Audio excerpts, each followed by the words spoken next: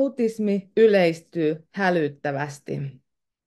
Ja jos tämä ei koske sua, niin please jaa tämä jollekin, kelle tämä on ajankohtainen. olin helmikuussa New Yorkissa yhdistävän lääketieteen symposiumissa, ja siellä puhuttiin tästä asiasta, ja otsikko oli Vuotava suoli, vuotavat aivot. Tuossa aivojen perässä ei edes ollut kysymysmerkki. Mä laitoin sen nyt siihen ollakseni vähän varovaisempi tämän otsikon kanssa, mutta vuotava suoli, vuotavat aivot. Autismi yleistyy siis Amerikassa ihan hälyttävää tahtia. Meillä ei ole tämmöisiä lukuja, tai ainakaan en niitä tiedä, mutta valitettavasti monessa muussa asiassa ollaan menossa niin kuin samaan suuntaan. Eli jos mikään ei muutu ja yleistyminen jatkuu samaan tahtiin, niin kymmenen vuoden päästä vuonna 2033 joka neljäs amerikkalainen lapsi on autistinen. Siis joka neljäs. No mistä tämä sitten voi johtua? On arveltu, että, että suolistomikropiston toimintaa häiritsevät asiat on yksi, ruoka on yksi ja stressi on yksi. Eli suolistomikrobisto häiritsee monet asiat, mutta muun muassa lääkkeet. Antibiootit, tulehduskipulääkkeet, happosalpaajat, mutta myös muut lääkkeet. Ultraprosessoitu ruoka ja siellä lisäaineet, lisätty sokeri, makeutusaineet, gluteini ja kaseini voi olla ongelmallisia. Glyfosaattia, mä laitoin sen kysymysmerkin, koska me Suomen tilastoja en tiedä, Amerikassahan sitä on on ruoassa jonkun verran. No sitten toi psykologinen stressi, pelkästään siitä voisi puhua yhden päivän. Mä haluan pitää tämän videon nyt tosi lyhyenä.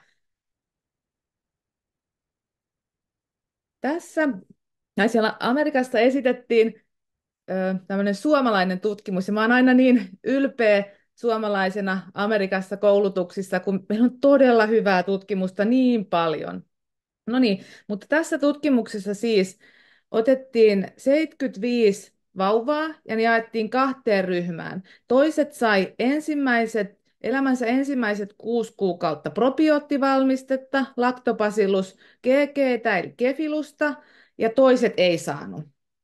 Noin.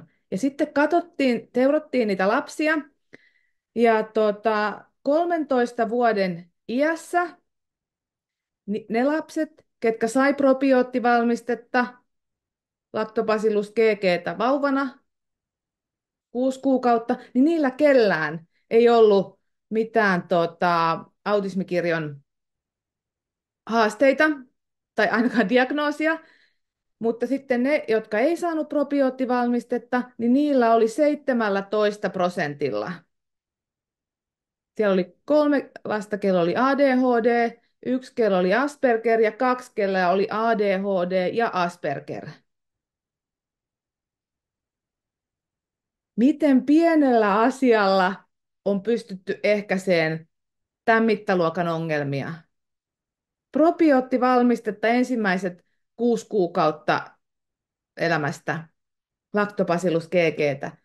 Ja tässä tutkimuksessa ei siis havaittu eroa siinä suolistomikrobistolla niin kuin siinä 13 vuoden iässä, mutta silloin lapsena, kun ne aivot kehittyy, niin se on ihan kriittisen tärkeää aikaa.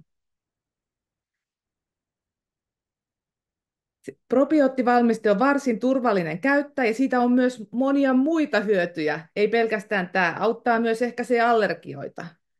Ja mihin kaikkeen vaikuttaakaan, jos niin kuin tarkemmin tutkittaisiin.